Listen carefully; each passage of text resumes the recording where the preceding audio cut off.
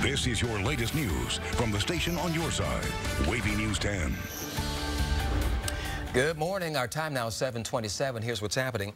We are on top of breaking news in Norfolk where crews are working on a massive water main break that has a major street closed. Now, here's a live look at Princess Anne Road and Norcova Avenue. A public works spokesman says a 24-inch line broke around 9 last night. Mm-hmm.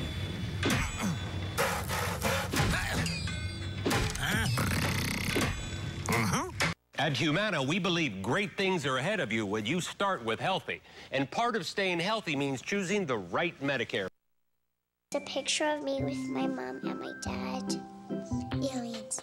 Like favorite dish to make in the morning. This is something that you cannot mess up no matter how hard you try unless you just walk away and important to me. The history and to walk up to certain areas and touch a wall and think, well, this wall is like 3,000 years old. Being on a Perillo tour on our anniversary was phone on top of it. It actually charges your phone without any wire.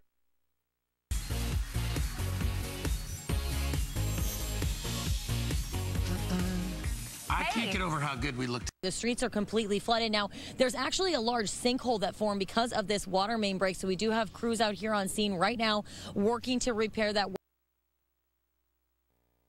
From all of us here. We love you, Heather.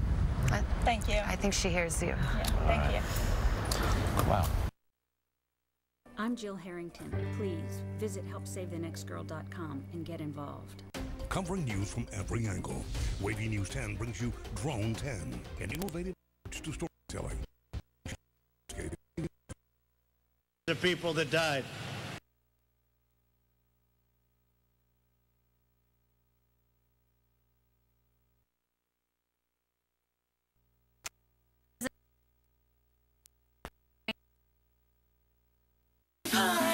By their second kid, every parent is an expert.